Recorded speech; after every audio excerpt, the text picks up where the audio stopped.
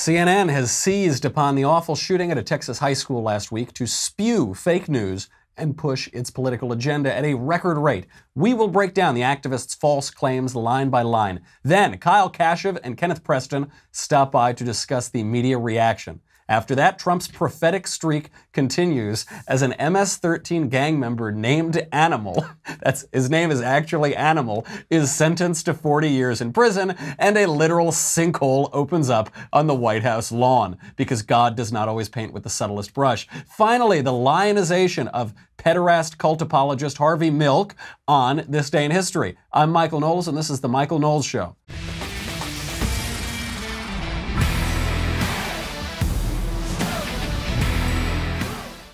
There is so much to get to today. And that also, that phrase, pederast cult apologist, that might be the worst epitaph to possibly have. That is the one title I think I want to avoid in my life pederast cult apologist. Nevertheless, the left makes this guy out to be the greatest hero of history. We will uh, discuss all the many myths of Harvey Milk. Before I get to any of those things, let me tell you about my bed. Let me bring you on in. You know that I'm getting married soon getting a little excited. Welcome, come on into my boudoir, everybody. I'm talking about Boll and Branch. I love Boll and Branch. I love it so much. Boll and Branch is the key to getting a great night's sleep. It's easier and more affordable than you think. You don't need an expensive mattress or sleeping pills to do that. You just need to change your sheets. Me being a derelict bachelor bum in my life, I'd go to, you know, the near store and I'd spend $3 and get sheets made of sandpaper because I, I didn't think it mattered what kind of sheets you have. It matters. It matters so much. Boll and Branch sheets are so, so nice just slept on them about an hour ago. You know, I roll out of bed, then I come here and do this show. Uh, everything Boll and Branch makes, from bedding to blankets, is made from 100% organic cotton. They start out super soft. They get softer over time. You can uh, buy directly from them. So luxury sheets can cost $1,000 or more, but because they cut out the middleman, you buy directly from them. Uh, Boll and Branch sheets are made only a couple hundred bucks. Well, well worth it. Everyone who tries Boll and Branch loves them. That's why they have thousands of five-star reviews. Forbes, the Wall Street Journal, Fast Company, all talking about Boll and Branch. Even three U.S. presidents sleep on Boll and Branch sheets. Three U.S. presidents and one best-selling author of a blank book. That is a high recommendation of these fabulous, fabulous sheets. Shipping is free. You can try them for 30 nights.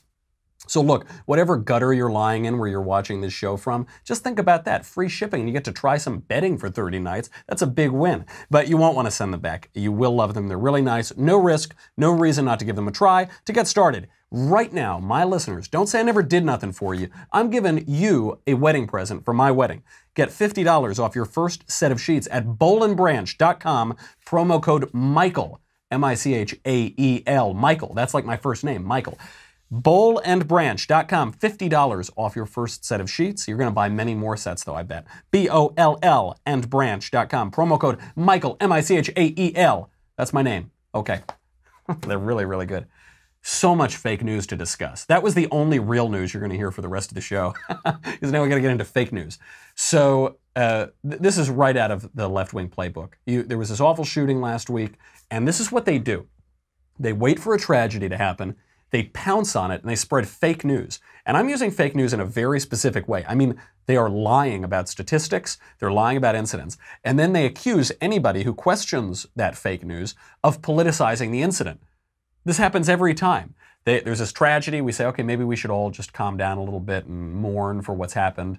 Then they spread a bunch of lies. We say, well, you know, that isn't correct, actually. They say, how dare you? You're politicizing this not politicizing this. So uh, you, you see this uh, has been happening all the time. We hear this from CNN. They say, including today's shooting incident at a Texas high school, this year there have already been 22 school shootings where someone was hurt or killed. That averages out to more than one shooting a week. That's a terrifying statistic, right? Sure, it just isn't true. The way they arrived at this statistic uh, is they included incidents where at least one person is shot, not including the shooter, that it occurred on school grounds, grades K through college, through university level. It includes gang violence, it includes just brawls, it includes domestic violence. They even include the accidental discharge of any firearm, of any firearm at all. We're not just talking about big scary guns. So here, here are some of the things that are included to, to let you arrive at that untrue statistic that there have been 22 school shootings this year. On April 9th in Gloversville, New York, a student shot another student with a BB gun, and that other student had a bruise on his on his body.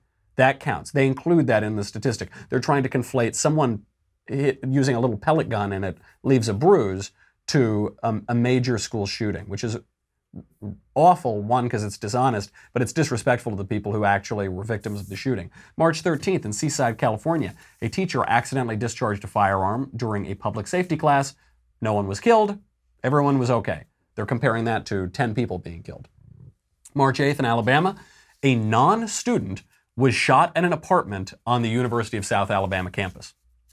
Non student, not, but the image that they conjure on the left when they say this is some lunatic murderer going into an elementary school and killing children. But the, the statistic is including people, just some guy living on the campus, wasn't even a student. February uh, in Itta Bena, Mississippi, a non student was shot at a recreation center at Mississippi Valley State University. That's in there too. January 1st in Philly, a 32 year old non student was shot outside a high school after a fight. The guy's just walking around a high school. He ends up getting shot. He's 32 years old. But no, that's a school shooting because they need to make this number really scary because they need to politicize tragedy. When you take out all those extraneous incidents, the number becomes seven school shootings this year. And by the way, seven is bad. That's not good. That's not, that number alone should be uh, alarming. But the meme that they use, the left's meme here, is to vastly exaggerate the numbers. And then when you point out the real numbers, you say it's not 22, it's seven. They say, what? Seven's not enough? What? That's that's nothing to you? I say, no, that that's a big deal, but you're the one lying and multiplying it by more than three times what it actually is. Uh, you, you see this all the time. Here's just a quick little rundown from the mainstream media. And in that time, there have been 20 mass shootings. 20 mass shootings in the U.S. We have a pattern now of, of mass shootings in this country that uh, has no parallel anywhere else in the world. There you, you heard at the end there is Barack Obama. It has no parallel anywhere else in the world. Tw- 20 mass shootings. Now, of course, the number just changes because they just redefine mass shooting however they want to do it in order to make the number seem as big as possible. But what Barack Obama just said also isn't true. We don't we aren't an outlier when you, you compare it to the rest of the world. We're not even an outlier when you compare mass shootings in the US to Europe. When you define mass shooting to exclude gang violence and terrorist attacks, as any reasonable person would, mass shooting rates in the United States are on par with Europe. They're actually a little bit lower. They're, they're below Norway, they're below Macedonia, they're below Serbia, Slovakia, Finland, Belgium, and the Czech Republic.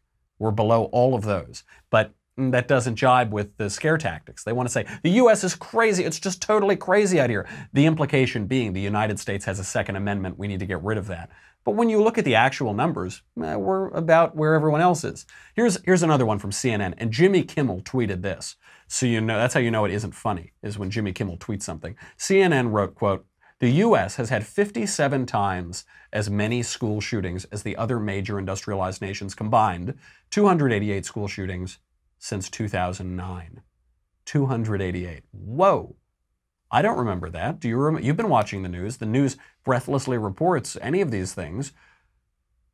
288. I don't. I don't. Do, uh, no, that didn't happen, did it? Those numbers are pushed by uh, anti-gun groups, anti-Second Amendment groups. In particular, Everytown for Gun Safety, which is Mike Bloomberg's group.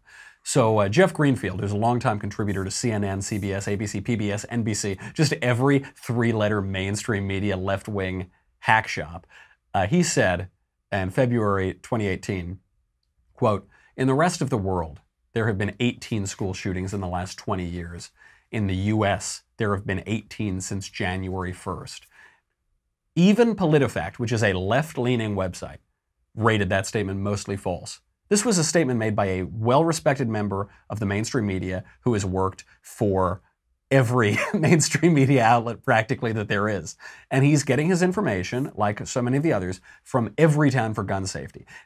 And just look, the left does this. I did a Prager video recently about language, how the left uses language and twists language to change uh, the narrative and to control the culture. They use the word Everytown for gun safety. I, now, I've traveled through Texas, traveled through the South, traveled through the Midwest. I don't think those towns are the towns that want to abridge our Second Amendment, infringe on our gun ownership rights in the country. But they say every town because they say, look, we all agree. We all agree it's every town for gun safety. So I thought you were talking about gun control. No, gun safety, because I have a safety on my gun. There's a little safety switch, and I click it up, click it down. That's my gun safety. I don't think they're advocating for that. I think they want to take away the guns. So every town includes, uh, among their countings of all of these uh, so called shootings, they include on January 3rd, East Olive Elementary School in Michigan. A man committed suicide in that school parking lot. That's a mass shooting. That's a school shooting. Uh, Coronado Elementary in Arizona. A student committed suicide in the bathroom. There were no other injuries. Sad story, not what we think of when we think of a school shooting, not a mass shooting. Murphy High in Alabama, student fired a gun into the air outside of school after an argument. I don't. Maybe that's just how they celebrate down in Alabama. You know, like uh, that was the one with the big mustache on Looney Tunes. Anyway, nobody was injured, and that counts as a mass school shooting. Here is a Democrat running for governor in Florida. Here's what he's saying. We send our children off to school. We want to know they're safe. But here in Florida, despite 14 school shootings in eight years, we still have some of the weakest gun laws in the nation.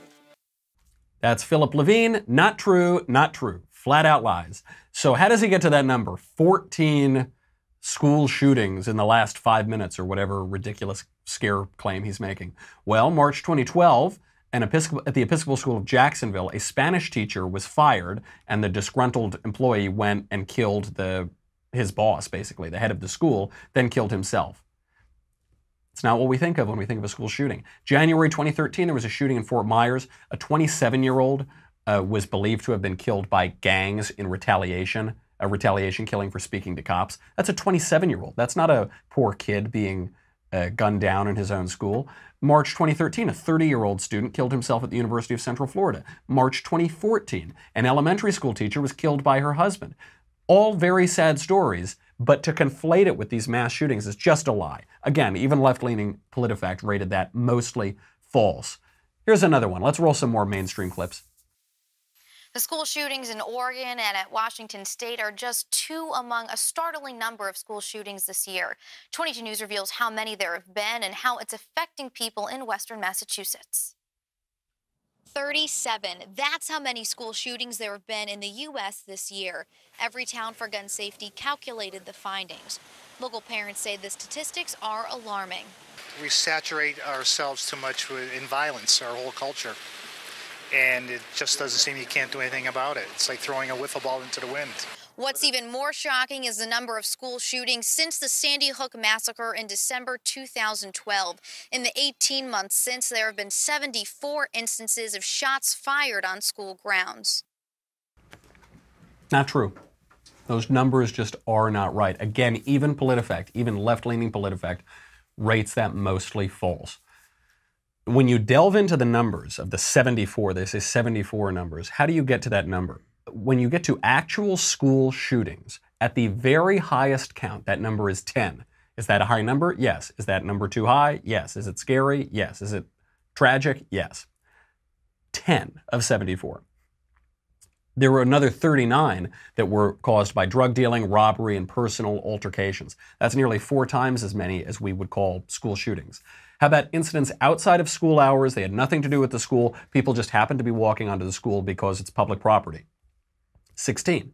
That's a 60%, uh, 60% higher than the number of actual school shootings. Suicide, 6. Accidental discharge, 3. 74 incidents that they count resulted in 38 deaths. Is that high? Yes. Is that sad? Yes. Relative to 74 incidents, though, that's a relatively modest number of deaths. Because if you say there have been 74 school shootings, what comes up into people's minds is 10 people killed at each of these. So you have this image in your mind that, I don't know, 740, 750 people have been killed in one of these school shootings, but really it's 38. And a lot are suicide, a lot are uh, gang related, a lot are or robbery related. Nearly half, by the way, 35 of them, took place at colleges or universities. Again, you hear school shooting, and the left is so good at this when they politicize this issue constantly. You think of these poor little elementary school kids at Sandy Hook or something. Half of them are at colleges or universities, sometimes involving non students, people in their 30s, people who are older. Whenever guns are involved, there is massive manipulation that happens on the left emotional manipulation, statistical manipulation, legal manipulation. Emotionally, they want to put these images in your head that are not true. Statistically, they exaggerate the numbers. Legally, they try to get around the Second Amendment. contrary to the mainstream media reporting, contrary to these sad events that do happen from time to time, there has been no spike in recent decades of children killed at schools. They, they say that there is an epidemic going on. It's uh, getting crazy. We have to do something. It's, it's getting so much worse. In fact, in reality, children killed in school shootings are down 75% since the early 1990s. They're not up 75%, they're not up 100%. It's fallen 75%. More children are killed each year by swimming pools and bicycles than by mass shootings in school, mass shootings in general. Over the past several decades, there have been gun control laws enacted, there have been gun control laws repealed. They have had no effect.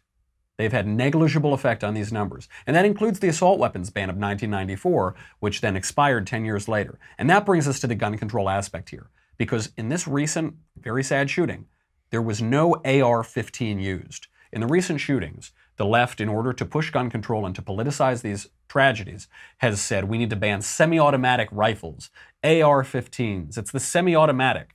Semi automatic means you pull the trigger once and a bullet comes out.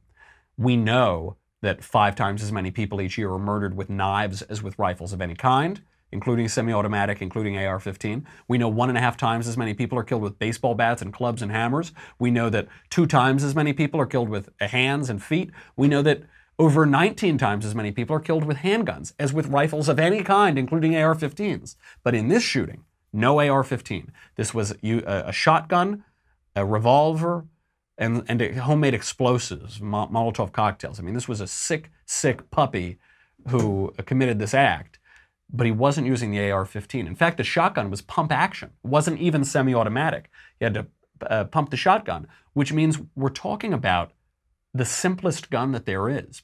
There's practically no simpler gun in the country. This isn't some super high tech thing. Very basic gun. The gun control crowd has pounced on the shooting, but what are they going to say now? They can't say, hey, this scary looking gun, we need to just ban this one, because now we're talking about the most basic gun there is. So it gets, I think, to the heart of the argument. To help us make sense of the media reaction, I have got two guys here who have a lot of experience in the media spotlight on gun control Kyle Kashuv and Kenneth Preston. We're going to talk to them in just one second. But before, now that now that I you know that we have them here, it's going to be expert opinion and discussion. I need you to listen to Little Bits. Little Bits is really good, a wonderful sponsor. And listen, you know these guys are these guys are pretty young, 18, 19 years old, and we try to reach the youth in this uh, program. So I'm going to tell you about it. An award-winning platform of easy-to-use electronic building blocks for creating inventions large and small. I uh, have this to send to my uh, uh, nephew because I wasn't I wasn't going to keep the it's a, it's a toy. It's a really cool, sophisticated toy from Little Bits. It's the complete droid kit. It looks really neat. I wasn't going to build it myself. You know, I kind of feel like I'm, I'm a little old for that. I don't know. Meanwhile, I walk down the hallway at the Daily Wire. All the 30 year olds are pouring out, begging me to have the toy. I'm sending it to my little nephew. Uh, this is amazing. Six bits, 20 droid parts, three sticker sheets, a free app app has step-by-step instructions, video tutorials, uh, drive mode, force mode, uh, self-navigation, 20 authentic droid sounds from the Star Wars films. It's it just if this toy had been out when I was a kid, I was also sort of a Star Wars fanatic. I would have gone crazy for it. 22 missions, more than 22 missions in the app uh, to teach the droid new skills, customize new droids, uh, give them personality coding. It's really, really cool. I'm, I'm very lucky. I never know what to get my nephews, you know, for Christmas or whatever the holiday. So I send this over. This is the toy because I, I looked it up too. Everyone is saying this is like the toy of the year. It actually won the Toy Association's 2018 Toy of the Year. So get it for your kids and inspire invention. Uh, really, you can't go wrong. This is such a cool toy. Uh, my nephew uh, really, really likes it. Visit littlebits.com slash Knowles, K-N-O-W-L-E-S, just like Jay-Z's wife, for $10 off a Droid Inventor Kit. Don't say I never did nothing for you. Littlebits.com slash Knowles, K-N-O-W-L-E-S, $10 off a Droid Inventor Kit. Gentlemen, Sir. thank you for being here. We've got Kyle Kashuv, Kenneth Preston. What are you guys doing in town? Uh, we were at a convention a few days ago, a gun convention, and we've just been going around and seeing this deplorable city. it is. It is a deplorable city. I, well, I got to say, you make very astute observations. You have become because I've had you both on my show before. we came on after the shooting at your high school. You came on to talk about the media reaction, this media frenzy that came around the high school. And then, Kenneth, you produced this incredible report. I think you're the last journalist in America. It's you and Sharyl Attkisson At, you actually produced this investigative report on all of the abuses, all of the total failures at Broward County uh, that led to that shooting. That, that they, they might have a lot of guilt on their hands for allowing this guy to slip through the cracks. In the meantime, since I've talked to you both, you have become a Twitter star. Kyle, you are, it is one of the best Twitter accounts on the internet. Thank you. It, it, you're making all of these observations. I think you're doing better than perhaps some other young activists around the country. I would agree. Uh, I'm sure you would. Uh, so I, I want to begin. Uh, Kyle, you are recently, I saw this tweet. You are currently ranked number one in your high school Yes, class. sir. You don't go on CNN as much as members of your high school class, but you are ranked. No, they cut me off. They cut you. CNN cut you off. yeah, I was Of, supposed to go on, and they uh, they cut off from the internet interview. did they really? Yeah, No. they backed out. It's is it it's. Well, I wonder what it, what's the difference. What is it about you that might? I couldn't tell you. I, I don't know what it is. It I couldn't- absolutely couldn't. Yes, yeah. So you're number one in your class. By the way, I hate to break this to you. There's no way that your teachers and school administration are ever going to let you be valedictorian. That is just not going to happen. I've doubled down on taking more classes this summer. Just Have you to really? Make sure. Yeah. What do you? What classes are you taking? I'm taking like three random college classes that I've never heard of before, just to make sure I solidify number one. I don't know if I took three classes in college. I, I did a lot of things in college. I don't know if I took three whole classes. Do, in in a serious note, do you find it hard? You've become this media celebrity since the shooting because you came out and said enough is enough with the, the media manipulation here. Yeah, I called you, BS. You called BS on it. You happened to be a supporter of the Second Amendment. That was very taboo. Uh, do, you, do you find it's hard to manage remaining a high school student, staying number one in your class, and having all of this attention on you? Oh yeah, definitely. Like I have to make sure I don't slip up in any way, shape, or form, or I'm gonna be. Um, the, the media will definitely jump on it. Specifically at school, I get a lot of hate. I get stare downs at school. Do you really? yeah, absolutely. Like I keep a tracker every day of how many people stare me down. It's close to like two to three people every day. Do, do you is the, the school's very left wing? Yes, very. Of course, like all schools are. uh, but Absolutely. certainly that. Uh, and now, so but you've become a Twitter celebrity. All in all, I'm very happy about that because you have a, a great perspective. Uh, Kenneth, you have produced this serious body of work, serious allegations against local officials. It was briefly reported by some people in the conservative media, and basically it's been blacked out. No one is reporting on this. What's going on? Uh, well, there was a there was a media blip for just a moment, and and exactly as you said, it disappeared. Uh, we, we had some traction. Marco Rubio called for an investigation into some of our claims. So, uh, you know, behind the scenes things are going on, but really local officials, local media, nobody's covering it. The, the interesting thing though is that we finally had uh, they were denying for months that any of the information was true or correct, and the superintendent had to come out and finally admit to the fact that uh, they were misleading at the beginning. Um, they said that the student was never part of these discipline programs, when in fact a reporter revealed that that the student was. He was referred to the, the, the shooter Program. was part of these discipline Correct. programs, and because of the policies of Broward County, Correct. he was not processed. They said, "Oh, we're going to sweep this under the rug." basically, and they denied that from the beginning, and finally it, it came to light that that was the truth. This is this is really interesting work, and it actually shows something in the culture, both of you guys, because the mainstream media they try to create a big show. They try to create the illusion of popular support, but it's it seems astroturfed. Oh, doesn't it? You know, you're you're doing. You know, some of your classmates will go on TV and and just lie, say fake, uh, fake Oh, yeah. statistics, uh, slander uh, U.S. senators and civil rights advocates, and they're lauded and applauded. The minute that you contravene that orthodoxy in the media, the minute you start going after the media, uh, they turn on you. They try to shut you down. You you have some issues. Uh, at school, but also issues with the local law enforcement officials. I, I, I do want your thoughts uh, broadly because I've tried to only focus these conversations on the media. The, the media have descended on Parkland and Broward County. This debate has gone on a long time in its in its most recent iteration. Uh, uh, in this recent shooting at the Sa- uh, Santa Fe, Texas, the killer was on the honor roll. The killer was a football player. The killer was apparently just a regular high school student. There weren't a lot of signs. There, he didn't fall through the cracks of disciplinary programs, as far as we know. and yet people demand no more, never again. We need to do something. We need to prevent these from ever happening again. Is there a chance that this just was not preventable? Well, yeah, definitely. Uh, I mean, there are certain aspects where it could have been prevented had there been the proper school resource officers on campus being able to defend it. That's why you see the kids Mm. calling, "We want to arm schools. We want to like harden schools." But I think fundamentally, what the left is proposing for like the for the shooting that happened at my school would not have stopped the te- the, the Texas shooting that we see right now. That's that's a really good point. Uh, it didn't didn't even occur to me. You're right. If you have people there who can physically stop these Yeah, shootings, because once the shooter's on campus, you're screwed unless you have someone like the cliche is that only a good guy with a gun can stop a bad guy with a gun, but it's true. yeah, right. And that's the only way you can stop him. Yeah, that's right. Just to call it a cliche doesn't mean it isn't true. It's obviously it is obviously true. Uh, I want to know, you know, uh, our pal around here. You know, we broadcast from the broom closet of the Ben Shapiro show. The guy who br- broadcasts from the studio of the Ben Shapiro show, he says facts don't care about your feelings. But it seems like the gun control activists and the media don't care about facts. I mean, we just ran through all of those bogus statistics that they are breathlessly reporting. Support for stricter gun laws is at the highest level it's been since 1993, uh, despite the fact that no gun law proposed in recent years would have prevented any of these shootings.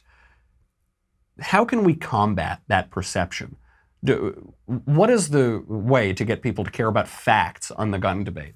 Well, I, I think it's it's not necessarily just a gun debate. It's it's something that should be looked at as a multifaceted issue. And I think the way to do that is to bring them the fact that look, it, whatever your feeling is on guns, there were systematic failures that led to the, the, the body count that day. Systematic failures. And to show them that, to present the evidence, and to now what we're doing is running school board members and, and showing them that there is a better way. I, I believe that once we implement those changes and things start to fix themselves, that the conversation is going to begin to shift. That's such a that's such a good point. And to hear you speak about this, you sound like adults. The reason, you know, I was real I got I have to admit, I was very hesitant at first to talk to you guys about gun control because I don't yeah, I certainly should be. Well, because I think just because a 17-year-old or an 18-year-old has lived through some experience, that doesn't make him an expert on constitutional law or crime prevention. And then CNN put your classmates on TV immediately and said, "Get emotional." Get. But to hear you talk about it, you, you're not impassioned and calling people names, and you're you're looking at this in a very systematic way and saying, "Oh, maybe that maybe that law, if that if that law hadn't been in place." He, this guy would have been caught. If this policy had been enforced, if this money had been spent, if the, you can actually do it in a very rational and s- systematic way.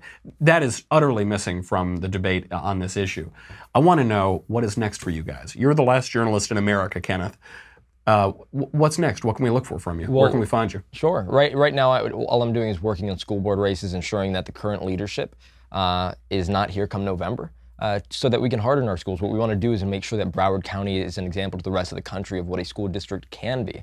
And after that, just continuing to expose some elected officials that have some some answering to do. It's great work because it's not glamorous. First of all, running those races is not glamorous. I've run a bunch of small races. Running them is not glamorous. Covering local politics is not glamorous, but it is the most important work in politics. So, Godspeed with that. Kyle, we're just following you on Twitter. I will continue bashing liberals with their leftist tears every single day on Twitter, and I'm going to make sure I fight for the Second Amendment nonstop. You know, it's it is a more glamorous way of life, I will say, having done it myself. It's very fun and very important. Gentlemen, so good to see you Thank you both. for I. I look forward to seeing you guys next time you're back in town. I've got to say goodbye to you people before we get to the news. We have so much good news today. We, a guy, you know, Donald Trump calls MS-13 animals. The mainstream media defend them. They say they're not animals. And then a, an MS-13 guy is literally named animal. He gets sentenced to 40 years in jail for murdering a 15-year-old boy. We will get to that. We will get to all of the lies about Harvey Milk. We will get to this day in history, but you got to go to dailywire.com. Go there right now. Why? It is $10 a month, $100 for an annual membership. You get me, you get the Andrew Klavan show, you get the Ben Shapiro show. Ask questions in the mailbag, ask questions on the conversation. I don't know, I'll give you a back rub or something. I don't know what it comes with, but you get the Leftist Tears Tumbler. Here it is. Here it is, folks. The, when that guy, you're going to have 40 years of leftist tears as Mr. Animal from MS-13 is rotting away in prison as we talk about the reality of Harvey Milk. Go there right now, dailywire.com. We'll be right back.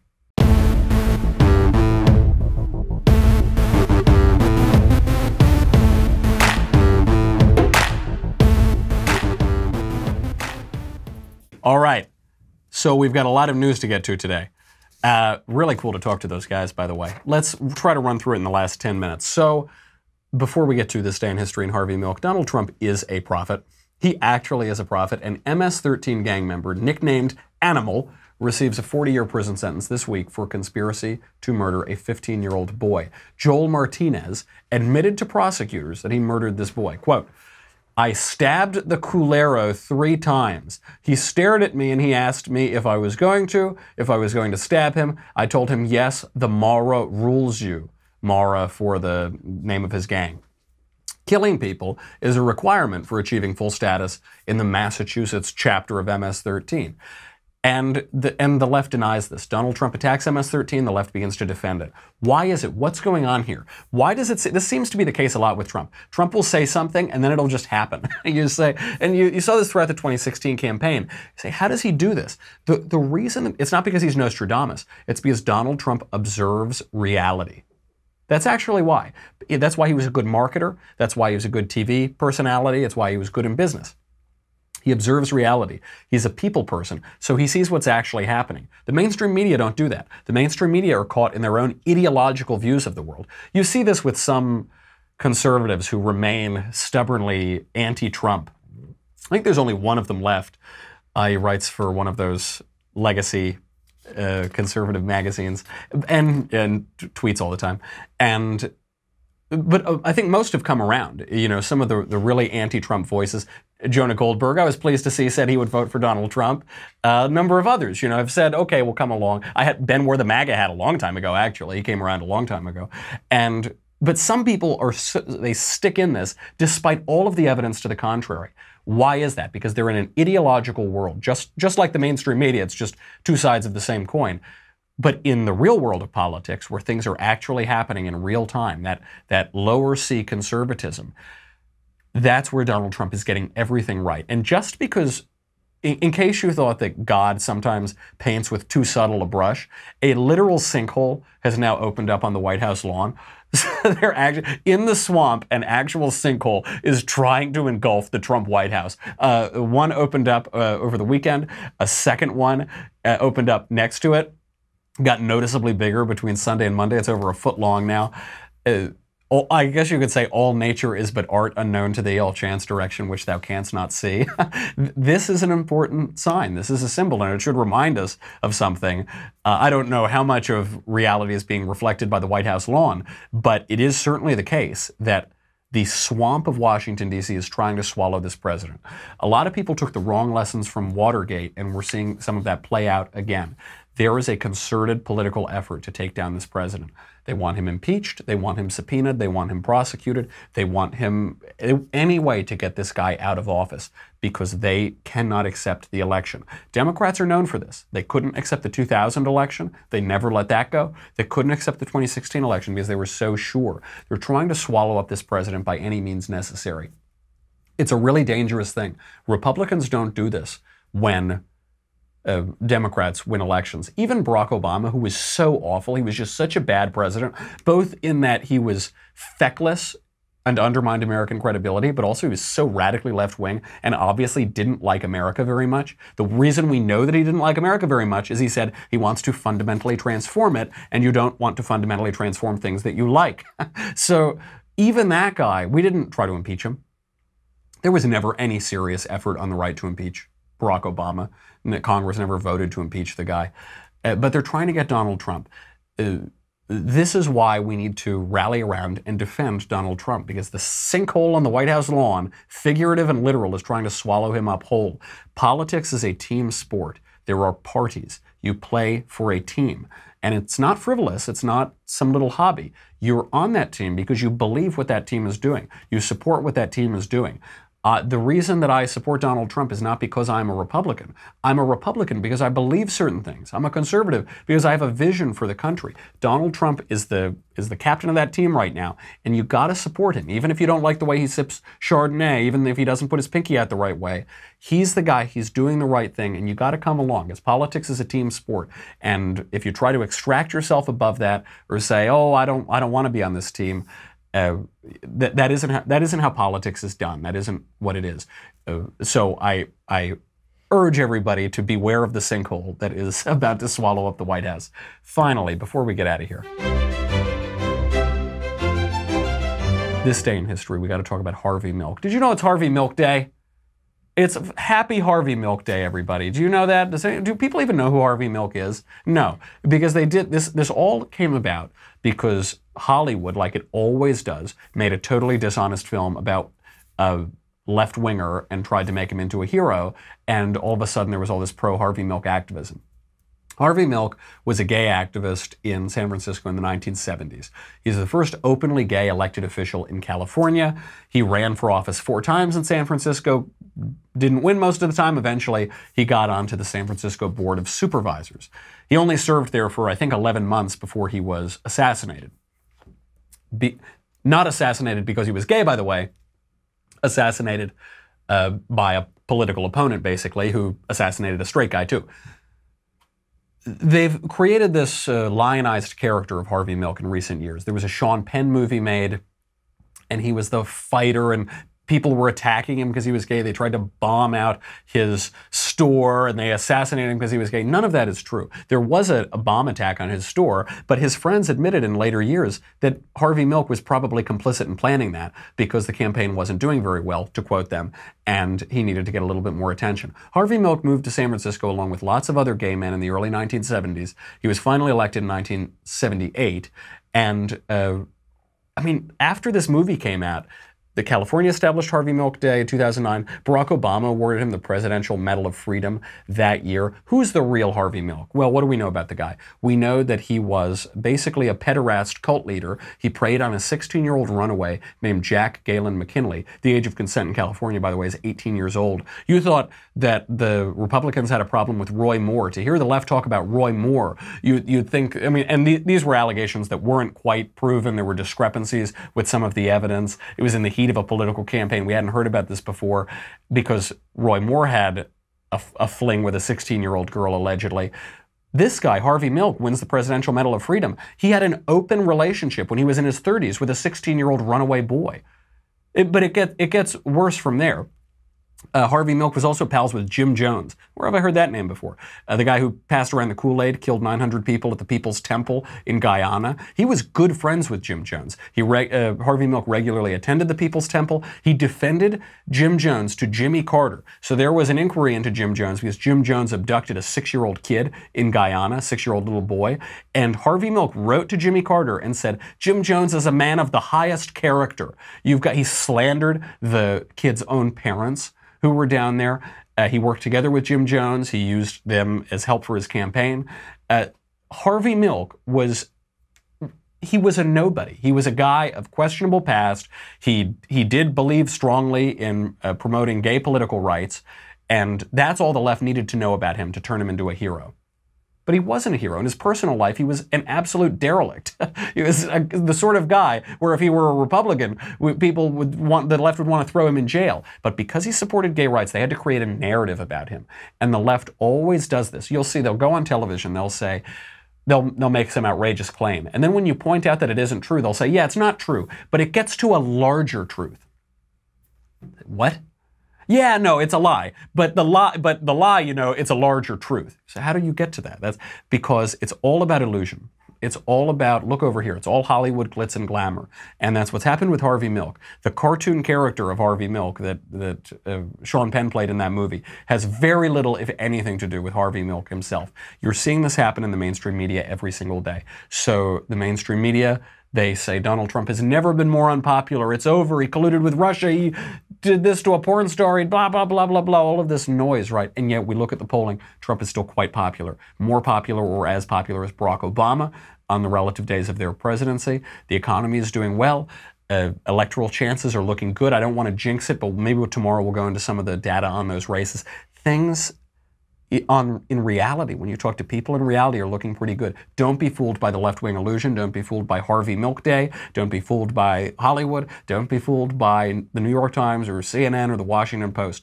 Take a look around reality because when people look at reality, they're they're able to predict the future. They're able to do very well. Uh, they're able to, to see kind of what's in the air, what's going on. And we've, we've seen that with the Donald Trump movement. It's an important political lesson to gather from President Covfefe. We'll have much more covfefe tomorrow. In the meantime, I'm Michael Knowles. This is the Michael Knowles Show. Tune in tomorrow. I've only got a couple shows left before I head off to my wedding, folks. If you want to send me celebratory wedding Cuban cigars and bars of gold and piles of money, let me know. I'll see you tomorrow. I'm Michael Knowles. This is the Michael Knowles Show.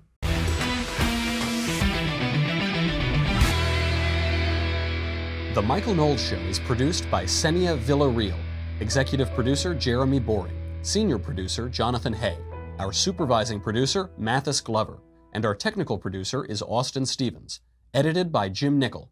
Audio is mixed by Mike Coromina. Hair and makeup is by Jesua Olvera. The Michael Knowles Show is a Daily Wire Forward Publishing production. Copyright Forward Publishing 2018.